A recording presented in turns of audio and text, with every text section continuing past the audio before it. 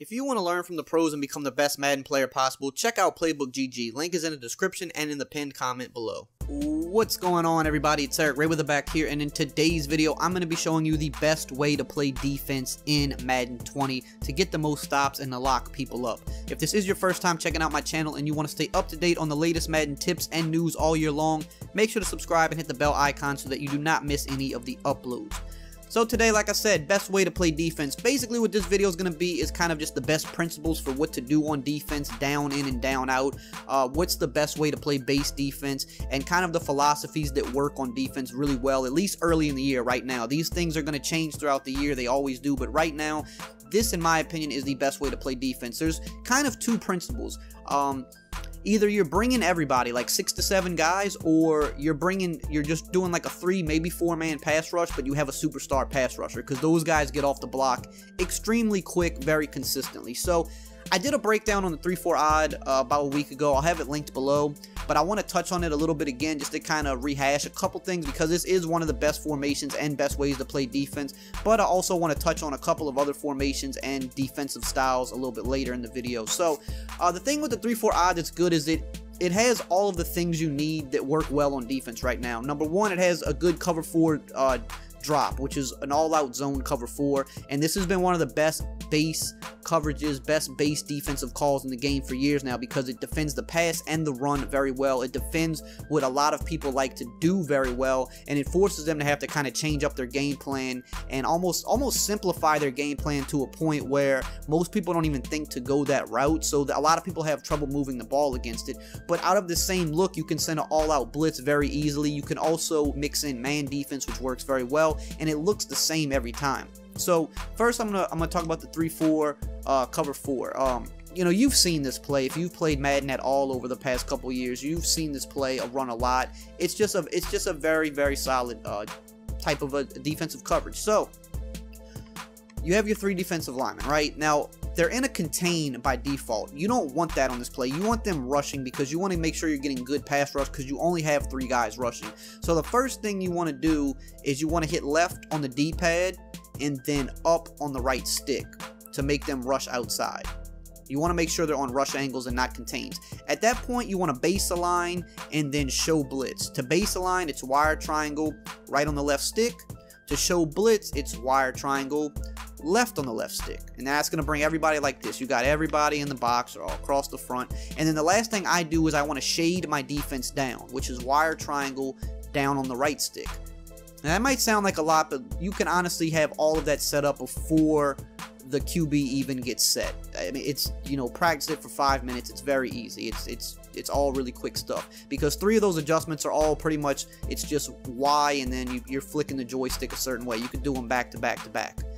Now what this does is number one, this scares people from running just because of the fact that you have all these bodies up front. Now, if you do have extra time, now everybody might not be able to do this, but if you do have extra time, I like to kind of take the safeties and just slide them in a little bit. This is optional. I just feel like you'll defend the run a little bit better if you do this, but if you can't do that, it's not the end of the world. Now, what this is good at doing is defends quick flats, it defends curl routes. I mean, not curl routes, uh, drag routes. The two things that everybody loves to throw because you don't have to think very much. They're very easy. They pick up the consistent four to five yards. And if you do it three times in a row, you're getting a first down. That's what people like to do. And then the other thing people like to do is just go deep. They want to throw, they want to throw bombs. They want to throw deep posts, deep crossing routes. That's a little bit harder to do against this defense because you have the four deep zones. You're not going to get beat deep, but it's hard to get beat underneath on the short stuff but it also defends the run very well because the safeties are in run fits, meaning they will not immediately backpedal. They're going to stand flat-footed and they're going to read the play first, and if it's a run, they're going to attack. If it's a pass, once they see that it's a pass, then they'll start backpedaling. So it, de it defends the run better by default. So this is like one of the best base coverages in the game. I recommend using a team that has a superstar pass rusher, a guy like Joey Bosa. Any, if you go look at all the superstar pass rushers, there's you know there's a handful of them in the game. Von Miller, Khalil Mack, you know, Joey Bosa, uh, Fletcher Cox, Aaron Donald, uh, Cameron Jordan, you know, JJ Watt. There's a there's a lot of teams that have these guys. You want one of those guys on your team because it just makes playing defense so much easier. You can rush three and still get consistent pressure. So, you know, we'll see here, you know, everything's pretty much bottled up. There's nothing just like running wide open. You know, I could, I mean, I'm throwing it late, obviously, but there's just, there's nothing immediately wide open. There's a few things that, that will beat this defense very well, but you have to know what they are, and the average Madden player doesn't. The average Madden player wants to just, like I said, throw flat routes, throw drag. So, like, I'm just going to, like, kind of clear everybody out on this, right? Clear everybody out, try to throw a drag. And it's like every we're, we're, shading down, so everything's playing underneath. And you see there, we got about one yard on a drag because everything they're they're sitting shallow on everything. Uh, same thing if we try to throw a flat route because we're shading down. So again, I'll kind of like you know, clear out some of this, try to throw a flat route to Jimmy Graham. Can't do it. He's all over it. That, that could have easily been a pick six, but he swatted it. And that that's what you'll get with this defense a lot. When people want to throw those quick flats or sometimes drags, you're going to pick six them to the house.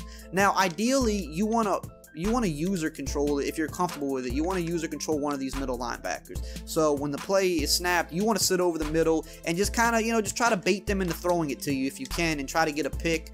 Uh, you know, sometimes you'll get it, sometimes you won't. But you just want to sit over the middle and just kind of play safe. Just stay home. Don't over like compensate. Don't over pursue. Just try to play bend, don't break defense. And like this right here, as simple as it is, will stop half the people you play in games because they just don't know what to do versus it. Things that work very well against this coverage would be like a draw because a draw takes the safeties kind of out of the run fit because they think it's a pass.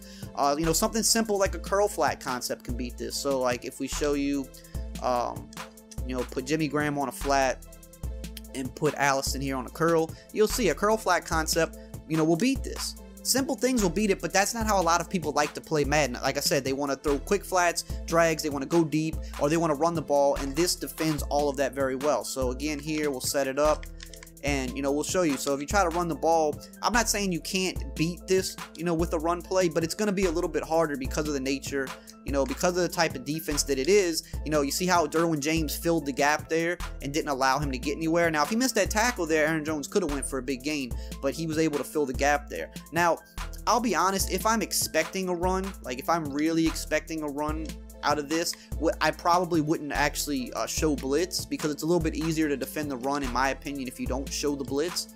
So it just depends. You have to you have to know who you're playing against. If you're playing against someone that runs the ball a lot, you know maybe you don't want to show blitz as much because then you can get on a linebacker and, and you kind of can like manually get in there a little bit easier. But either or, the fact that you're in a cover four, it will it will slow the run down very well. Now the great thing about this is, again, now you can go to something like the pinch buck O, which is what everybody runs, and then you do the same setup. You just base align. With this, you don't have to actually change the defensive line or shade down. You just base align and, and uh, show blitz.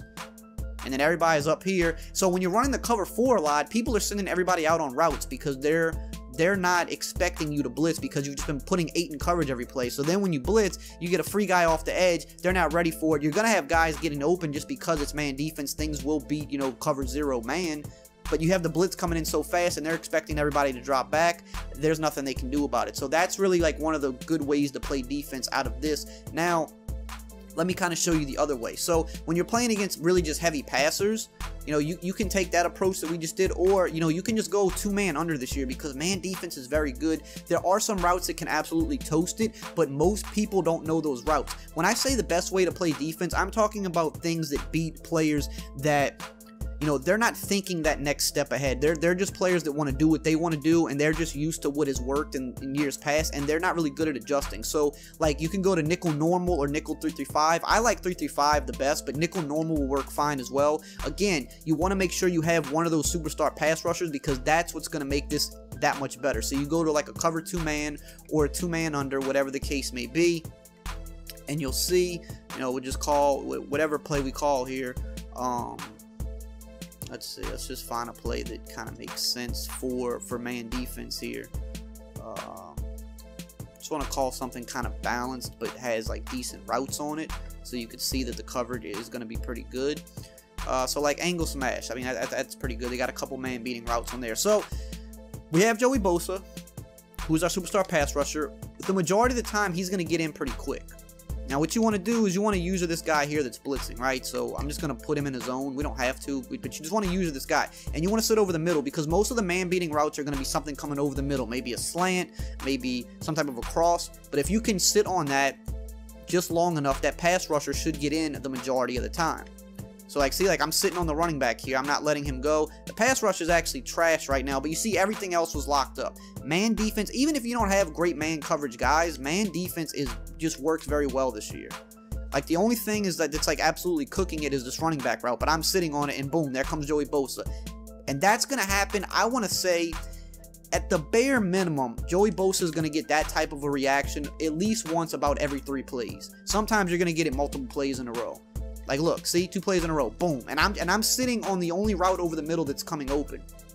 So as long as you can do that, you can play man defense this year. Now, if you play cover zero man, like we just showed, like the all-out blitz, there's some ways you can bomb that for one-play touchdowns. There's certain routes that kind of go unbumpable on the outside, and they can just streak down the field. But with the two-man under, you have these two deep safeties, so you can't really bomb the coverage. There are some like double move routes or some routes to the sideline that could get open, but you gotta hope that they get open very quick because again, when you got somebody like Joey Bosa, you know he, he's gonna get there almost every other play. And then I mean, right there, we had Ingram come in, who isn't actually a superstar pass rusher in the game he's got good pass rushing stats, but he's not, you know, what you would, he's not a superstar. He doesn't have the abilities, and you know, even he's getting off the block very quickly. You know, again, we're just sitting on things, and look, now this time it came up the middle. Pass rush as a whole is just so much better this year, and the fact that man defense is better too. You can sit in man defense this year, but the better man defense formations like the nickel 335, the nickel, the dollar, because dollar's another one you can run this out of. Go to dollar, cover two man. LB Blitz there. It's kind of the same kind of the same concept we were just running, but with a um, you know, it's just a little bit different alignment because you have an extra defensive back on the field and one less linebacker. These formations aren't going to be the strongest against the run, so you have to know your opponent. If you're playing someone that just only passes, you can sit in man defense as long as you have just a decent secondary. They don't have to be great, just a decent secondary and at least a superstar pass rusher so that you're guaranteeing you can rush three guys or four if you want, and you're going to get pressure, you know, very consistently. And again, you just kind of sit over the middle. I mean, look at Joey, but look how all three came free that time. That's how quick they get in.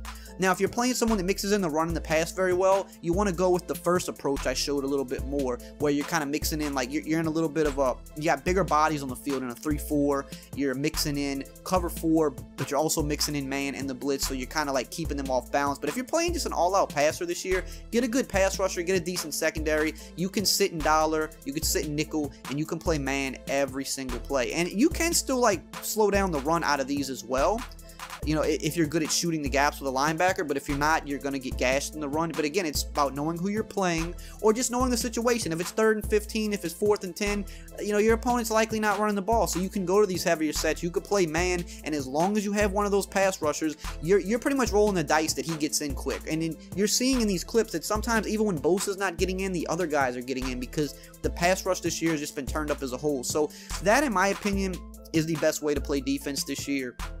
You know, you either go with that that kind of three four odd, you know, same look every play, but you're mixing in, you know, plays that can both stop the pass and the run, or if you're playing heavy passers, get yourself a good pass rusher, go all out, man. And like I said, yes, there's ways to beat it, but the average Madden player doesn't know how because they haven't had to know how for years now because man defense has been so bad. So people don't come out thinking about beating man. They don't have man beating routes on their plays a lot of times. And if they're not going to do that, there's no reason for you not to play man. Make them have to adjust. Make them have to think and do something different. If not, I mean, half the games I play, I can just sit in man all game and just completely lock people up because they they are just so used to man not being usable that they don't know how to beat it when it's actually not that hard to beat. So that, in my opinion, those are the best ways you want to play defense this year, at least early on. As it changes, I'll keep you guys updated as always. And you know the drill. Like, comment, subscribe, and I will see you guys next time.